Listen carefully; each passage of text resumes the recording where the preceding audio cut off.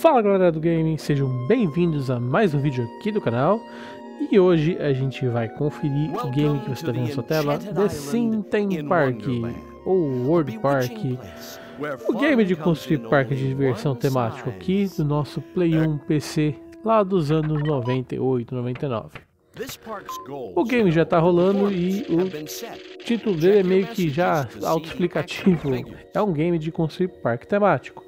Então, naturalmente, o objetivo é atrair mais pessoas para o seu parque, ter mais pessoas uh, estando lá ao mesmo tempo, né? E claro, adquirir mais fundos e fazer crescer sua mini economia aqui. Claro, limitado a um gráfico de PlayStation 1 PC da época. O game não perde nada na questão de gráfico, eu acho que tá, tá bem legal, isso não chega a incomodar ele não chega a ter um impacto assim de você usar o controle se você estiver usando o Play 1. Acho que ele roda bem até. É, é, legal. Ele tem alguns, por exemplo, Warcraft, né? Que eu jogava também no PlayStation 1. Hoje em dia é, é horrível. Não sei como eu conseguia controlar tanta coisa com o controle na época. Mas esse aqui eu me dei super bem. Os controles em si são bem tranquilinhos. Acho que eu só Peguei um ou outro bugzinho ali, mas é um bem bacana o game. Falando sobre ele e também fazendo uma review rápida e também um mini dicas aqui, tem alguns aspectos do game de ambiente, construções, equipes que você tem que se atentar porque o game não é muito difícil não, você pegando o primeiro, talvez segundo parque, você já pega a forma e basicamente em 30 minutos no máximo você já tem um parque rapidinho ali, funcional. Falando assim sobre o, os parques, você tem vários slots aqui, você vai a, avançando, você tem que conseguir os golden tickets, que eu já falo a respeito, para você destravando outros parques. Você inicialmente começa com o período Jurássico, você tem ali o mundo do Halloween, o mundo das maravilhas, como Alice no Parque das Maravilhas, e o mundo futurístico. Tem esses temas ali, as lojas são bem parecidíssimas, tirando alguns shops que são diferentes, né? Mas no geral é a mesma coisa. As atrações são semelhantes. Você tem brinquedos de girar, de balançar, de tremer, igual tem um parque de diversão comum, né? Você tem a Track Riders, né? Que são kartzinhos na pista. Tem os Tour Riders, que é um bichinho, por exemplo, no pré-histórico, você entra num pterodátilo e sai voando aí pelo parque. E você tem os Roller Coasters, que são os principais ali e mais caros também, são as montanhas russas aqui no nosso parque.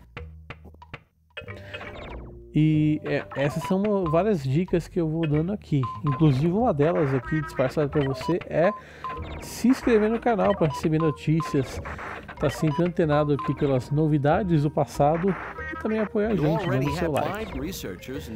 Seguindo aqui nas construções que a gente tem disponível, além da própria entrada, né? Você tem os shops, que são as lojinhas de hambúrguer, batata frita, suco, sorvete. Tem, tem várias aqui, tem algumas que são balões ou lojas de uh, roupinhas, que é bem legal. Os, os visitantes ficam todos vestidos temático, entre outras.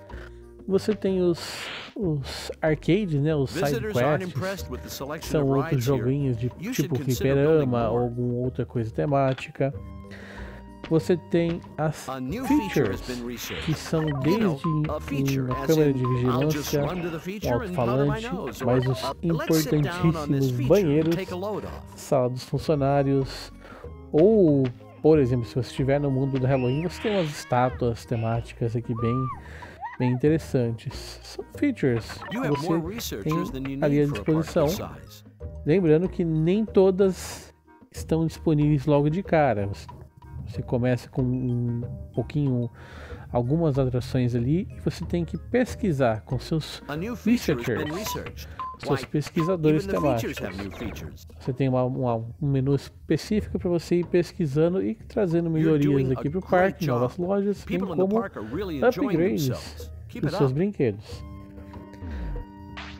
Agora, falando sobre a equipe, você tem alguns personagens aqui como a equipe de guardas, os entertainments, que são acho que os animadores de, de parque, acho que dá para falar assim, os janitors, pessoal da limpeza, os mecânicos, importantíssimos para os brinquedos funcionarem, que eles têm vida útil e eles acabam quebrando, e também para aplicar os upgrades, e você tem os researchers, que são os caras que vão pesquisar.